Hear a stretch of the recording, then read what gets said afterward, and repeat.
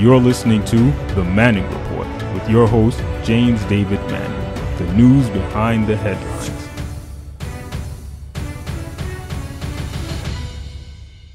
You can't run away from this, homeboy. You can't run away from this.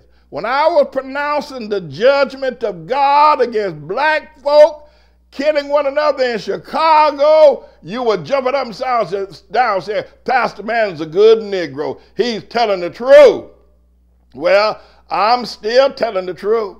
Now the judgment of God is against you white folk. You Trump supporter, like it was against Obama supporter. And that's right, you have nothing to fear but death itself. And it won't be long for all of y'all are dead. And the people that Al Sharpton support are going to be taking over your businesses, running your restaurants down there in Mississippi. Yes, that's right.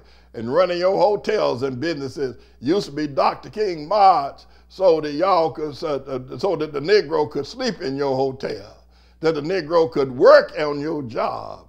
But in not too long now, y'all Trump supporters are all gonna be dead.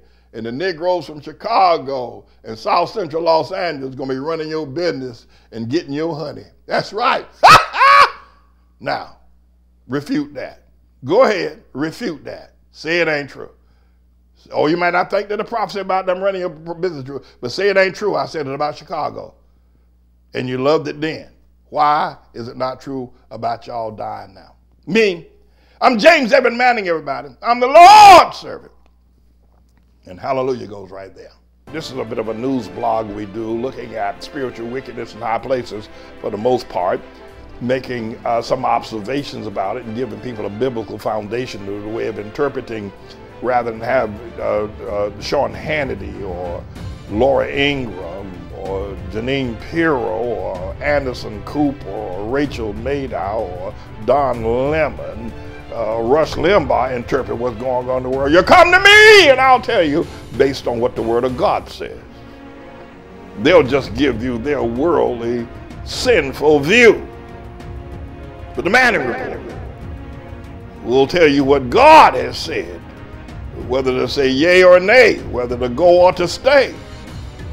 You'll be led by the word of Almighty God. Come to the Manning Report on a daily basis to interpret the spiritual wickedness in high places because there's plenty of it that's going on.